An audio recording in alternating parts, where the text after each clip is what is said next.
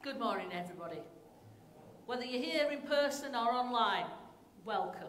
It's a pleasure to speak, speak to you this morning. I'm just going to set my timer off because it's gone off on me, and that's not a good thing. There. Do you know, these are really strange times that we're living in. These are the kinds of times where when somebody says to you, I'm feeling really positive today, part of you wants to take a step back.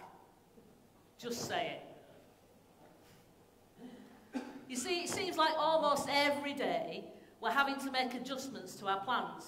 We need to be flexible to take into account new rules or restrictions. You see, I wrote this sermon yesterday afternoon, so it's out of date today. These strange times. When I look on Facebook, I see lots of people who are in isolation counting down to their freedom. They're counting down in like weeks, days, hours, minutes celebrating because they're just finally allowed to go out to the shops. This is the bit that's out of date by now, but I'm going to do it anyway. In some ways, it was easy to cope with when everyone was working to the same rules, which we're not till Thursday. We felt when we were working together, we were working together to beat a virus. But actually, now we feel fragmented. We feel that maybe other people have got an easier life than us, or a harder life, I don't know. But somehow we're just not quite settled. See, I know some people who live on a county border, or very near a county border, and they can't go to the nearest shop to buy milk because that across from a tier 3 to a tier 2, so I'm guessing they'll find it easier by Thursday. See, this morning, in the middle of things that are very different, I, I want to look at the things that make us the same the things that unite us instead of dividing us. The freedoms that we enjoy as Christians, despite the restrictions on where we can go and who we can meet up with, are, not, they're not the same. We are free. There's no mileage in comparing ourselves and our situation to other people's situations. But there's a real strength and joy to be found when we look at the big picture. When we look to our Father God for comfort and strength, we find joy. You see, the, the restrictions that we face are all on our movements, on our social interactions, on our working practices. And they're necessary right now, but there are no government restrictions that affect who we are. You see, keeping a good grip on our identity in Christ is really important right now. Because when we do that, we combat that sense of confusion and isolation that's affecting us and all around us. See, I've seen loads of posts saying that the end of isolation will be a return to freedom. I've read threats to dance in the streets at midnight.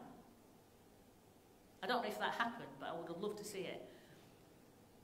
And in a sense, that's true. But actually, as Christians, our life is so much more than the physical. You see, as Christians, our freedom's more than that. Our real freedom comes from an internal and an eternal truth, not an external one. Did you get that? Our real freedom comes from an internal truth, knowing who we are in God, and an eternal truth, knowing that God is eternal. The externals don't affect our identity. We're children of God, and that truth can't be taken from us by anything that happens.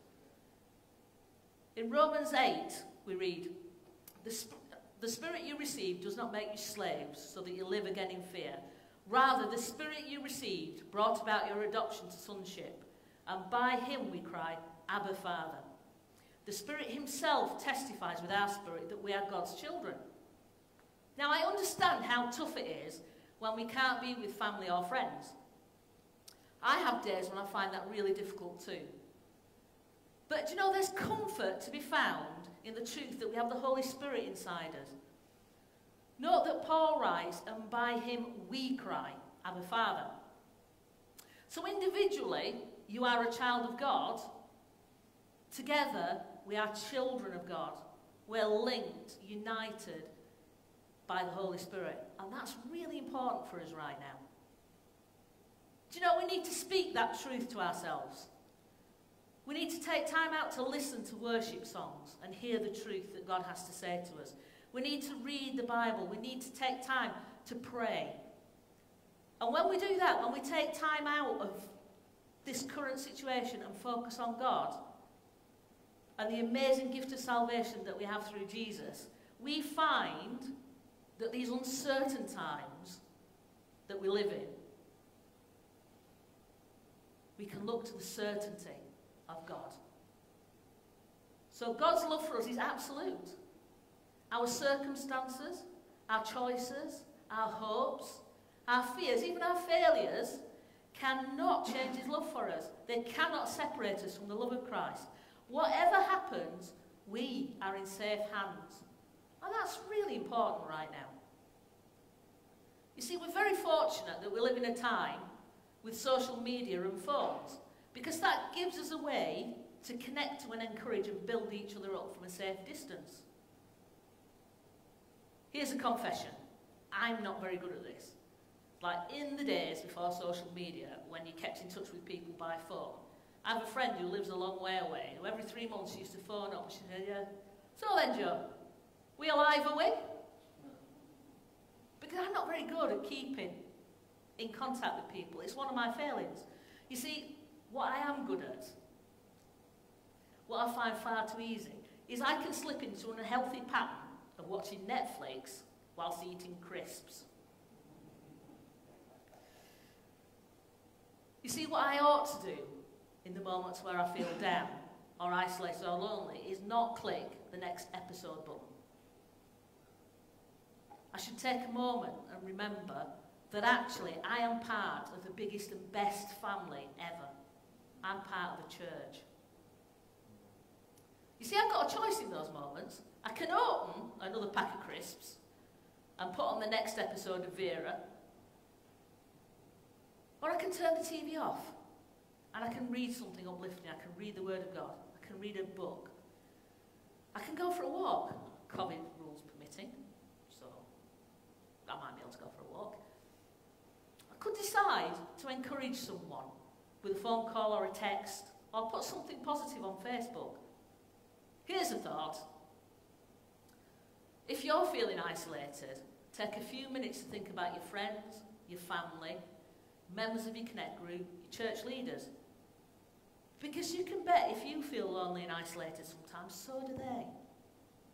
And you know, it's within all our power to, to pick someone out and bless that person. Reach out to them, ask how they are. Share a scripture with them. Tell them something about themselves that make you smile, that make you feel good. Tell them a positive about themselves. Because actually, we all need that at the moment. And actually, in cheering someone else up by sending a positive message to them, do you know what's going to happen? This is a really good one, this. When you cheer somebody else up, you feel better. Secret. It works both ways, because when you take the time out to be positive towards someone else, you kind of just feel your spirits lift a bit because you've taken your eyes off confusion and you've focused on the relationships you have as children of God. You see, it's too easy when things are tough to sit there thinking, oh, nobody's messaged me. Nobody cares. Nobody's messaged me for days. Do you know, that's never true. Because God's love for you is unchanging. It's absolute. It cannot be altered. So maybe in those moments where we just get a little bit distracted by our feelings, we need to reach out, build someone else up, encourage them in the Lord. I'm going to read a scripture now that you're going to say is insanity on the breach of going into another lockdown. I'm going to read through he Hebrews 10, where the Word of God tells us, and let us consider how we may spur one another on towards love and good deeds, not giving up meeting together, as some in the habit of doing, but encouraging one another, and all the more as you see the day approaching. That's really relevant for today. The only way that that seems irrelevant is if all you think meeting is, is meeting together as a group. These scriptures were written in times when Christians faced times of separation and dispersal, but they still met together to encourage each other. Do you know, if our physical opportunities to meet together become more restricted, and over time that'll get easier or harder, we don't know how that will evolve, but the encouragement to keep on meeting together includes all personal messages, phone calls, Zoom meetings, and any other way in which you can continue to meet as, as the people of God and encourage each other. Do I think that scripture is really important for us right now. Never underestimate the value of a single message, a quick chat, a smile from a distance. See, we're human beings and we're designed to be social. We're designed to be social. We're designed to need each other. But we're also born into a spiritual family, a family united by the Holy Spirit. We need each other more, not less, in these strange days. See, one day we'll look back on this journey because this is a journey. There'll be a time when COVID ends or is diminished by vaccines, or, and we get back to normal. But that won't be normal where it was yesterday, that'll be normal where we've got to. Because do you know what?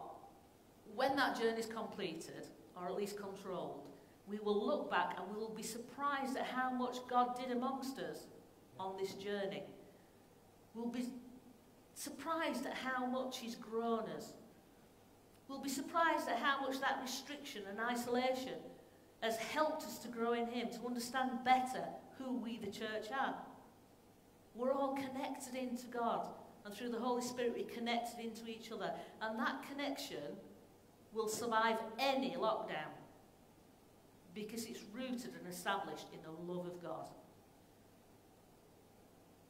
See, one of the freedoms that can't be affected by this pandemic is the freedom to pray. Philippians 4 tells us, Do not be anxious about anything, but in every situation, by prayer and petition, with thanksgiving, present your requests to God. It's not hard to be anxious in 2020. There are so many things that even the most laid back amongst us can worry about. Here's a secret even Neil, the most laid back person I've ever met, has peaked at a state of mild irritation. Now, mild irritation from Neil's like quite, quite a state. I'm worried about him. You see, this current situation is difficult, and please don't think I'm saying that you shouldn't be anxious.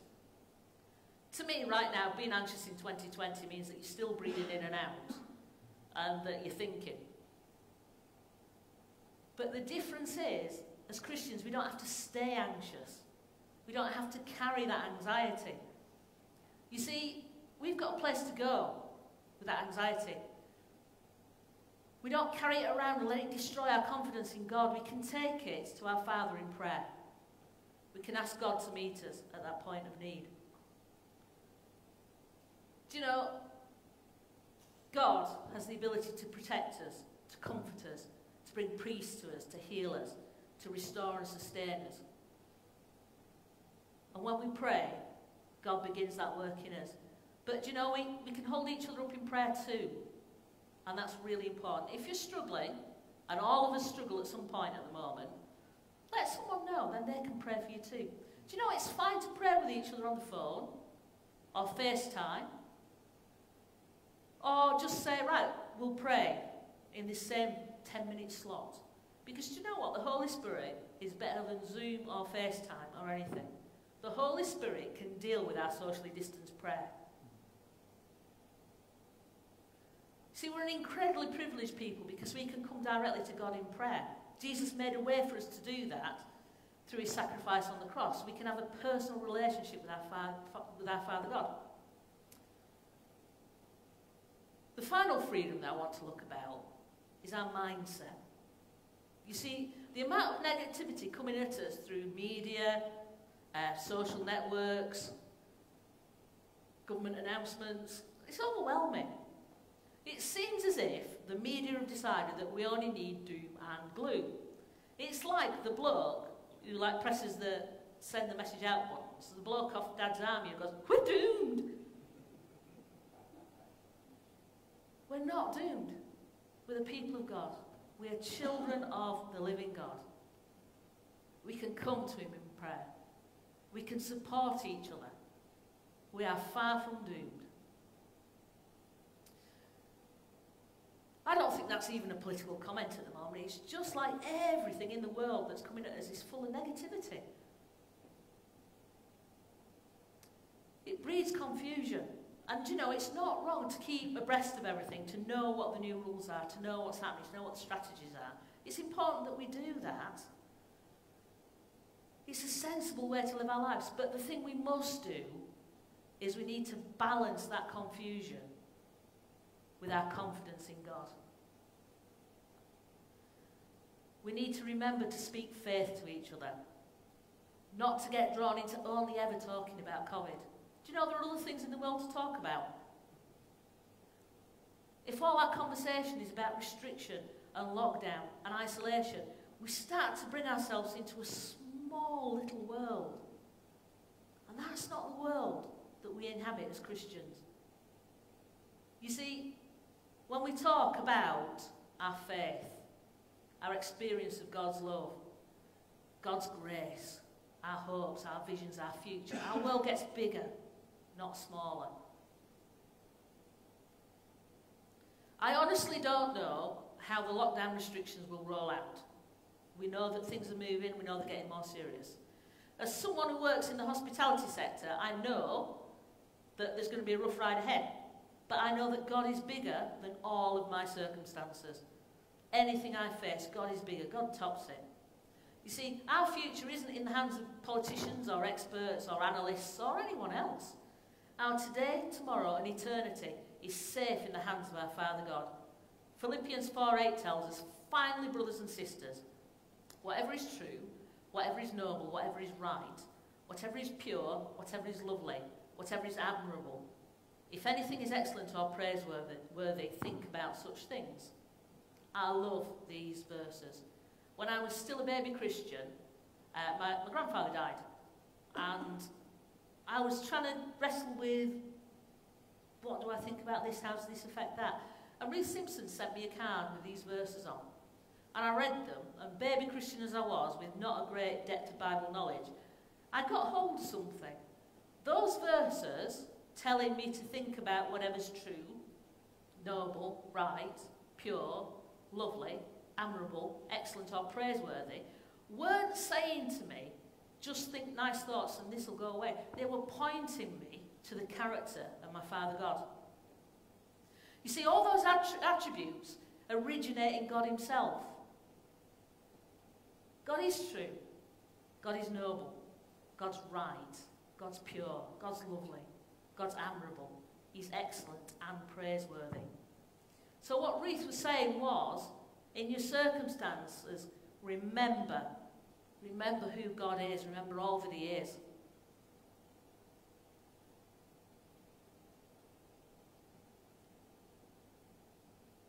When we turn our thoughts to God, to all he is, and all he's done for us, we find a better perspective we find that the noise of the media is less insistent. It's like the more we focus on God, we just turn the volume down a bit and it's not overwhelming anymore. It's in proportion because our confidence is in the Lord, not in anything else. I'm not suggesting we mute the world, I'm suggesting that we refocus and let God be the loudest voice in our life because that's where our confidence comes from. Our confidence comes from God. When we keep our eyes fixed on Jesus, we find that we're keeping our eyes fixed on the one who will help us navigate these difficult times. I wrote this sermon yesterday, and I hope that at least some of it's still relevant 24 hours after writing it. It's entirely possible that all the COVID stuff isn't. All the lockdown stuff is outdated. But do you know what's true? The God stuff. The God stuff is all true because God is the same yesterday, today, and forever. And God hasn't changed throughout any of this. If, as I've spoken about this, you've thought, that's not my experience of God, I haven't ever made that personal relationship, I haven't quite got to the point where that's where my confidence is seated, I'm not, not sure I'm a child of God. There's a prayer, prayer we pray when we make a commitment to God for the first time. If this is the first time that you've considered giving your life to the Lord, or if it's the 50th time you've reaffirmed that decision, this prayer is always good to pray out loud, to, to, to share, to connect with, to reconnect, to connect for the first time. If this is the first time you pray this prayer, get in touch with somebody through the information that you'll find on the screen, and somebody will pray with you, support you, help you in that journey. But let's pray. Lord Jesus, I know I've done things wrong in my thoughts, words, and actions. There are so many good things I've not done. There are so many wrong things I have done. I'm sorry for those wrong things and turn from everything I know to be bad. You gave your life for me on a cross, and gratefully I give my life back to you. Now I ask you to come into my life, come in as my Saviour to clean me, come in as my Lord to lead me, and I will serve you all the remaining days of my life. Amen.